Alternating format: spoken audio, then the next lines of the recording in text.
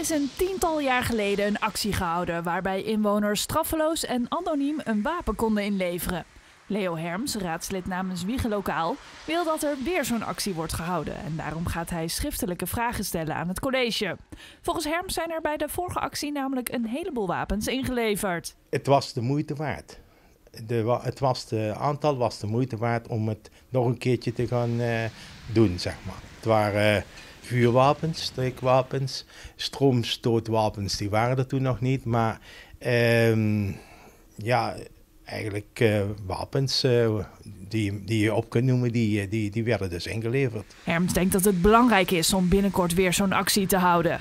Als, als uh, een, een, zeg maar een vader overlijdt en de kinderen die wonen in een andere stad en in een ander dorp en die gaan hier het huis leegmaken en die komen een wapen tegen.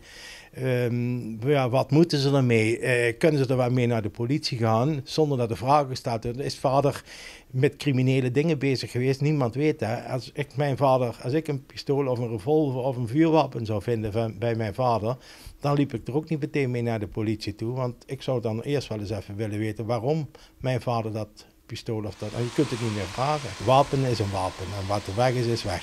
De mensen die moeten gewoon anoniem kunnen komen, aan welke wijk dat ze vandaan komen. Ik verwacht um, dat het wapens in elke wijk voorkomen.